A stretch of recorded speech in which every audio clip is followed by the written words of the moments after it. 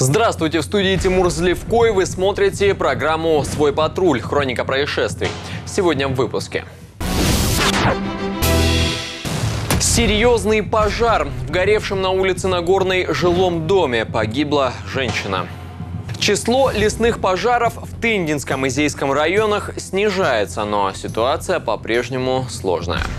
На станции Сковородино сошли с рельсов три грузовых вагона. Движение на участке уже восстановлено. Во время пожара в двухэтажном деревянном доме по улице Нагорной в Благовещенске погибла 38-летняя женщина. Горели квартиры на втором этаже первого подъезда. Эвакуировать жильцов не пришлось. Они самостоятельно покинули дом до приезда огнеборцев. После того, как пожар потушили, до 9 вечера велась проливка здания, так как дом деревянный, и это сохраняло опасность повторного возгорания. Погибшая женщина родилась в 1976 году. По неофициальной информации, сын забрал ее недавно из психоневрологического диспансера в связи с тем, что мать пыталась совершить суицид. Оказавшись дома, она грозилась поджечь себя, рассказывают соседи. Скорее всего, женщина все-таки привела свою угрозу в исполнение и в итоге стала виновницей пожара и погибла сама. На месте происшествия работали лично мэр Благовещенска Валентина Калита, а также ее зам Владимир Константинов и глава городского управления ЖКХ Сергей Казанцев. Специалисты говорят, что возникший пожар жильцы обнаружили слишком поздно. К тому моменту огонь уже вырывался из горевшей квартиры. Когда на место прибыли боевые расчеты, второй этаж подъезда был задымлен. Огонь уже вышел на площадку, горела кровля.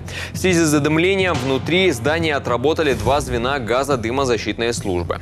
В тушении также участвовал боевой расчет пожарной команды «Двокон». Всего с огнем боролись 33 человека и 9 единиц техники.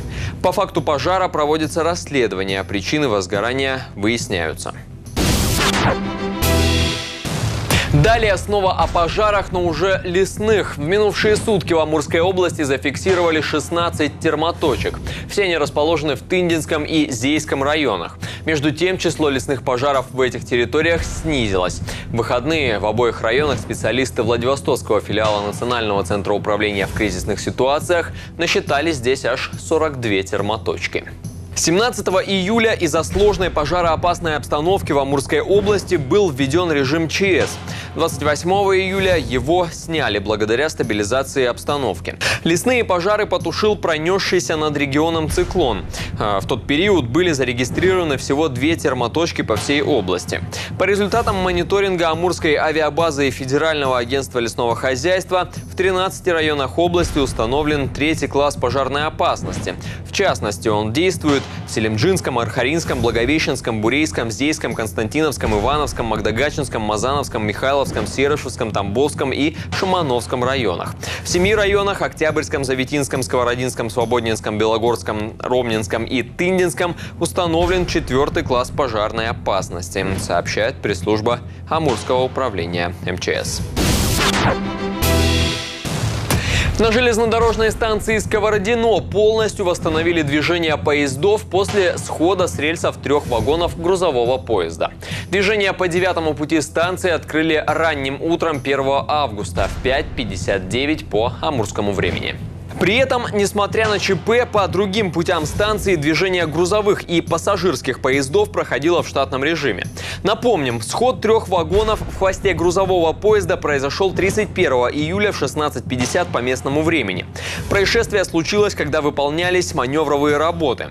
Два сошедших полувагона ехали груженные углем, еще один был крытым. Во время инцидента никто не пострадал, угрозы экологической безопасности не возникло. Причины схода пока выясняются. Ликвидировать последствия происшествия помогли восстановительные поезда станций Сковородино, Ерофей Палыч и Магдагача. На месте работал оперативный штаб. Это не первое ЧП на железной дороге в Приамуре этим летом. Так, две недели назад, 16 июля, на перегоне Архарада-Микан с рельсов сошли три вагона грузового поезда. Причины аварии еще выясняются. Кроме того, полтора месяца назад, 18 июня, на станции Ерофей Павлович сошли с рельсов четыре вагона с углем. Тогда причиной ЧП стали нарушения технологии работ по перешивке рельсовой колеи. Ошибку допустили работники местной дистанции пути.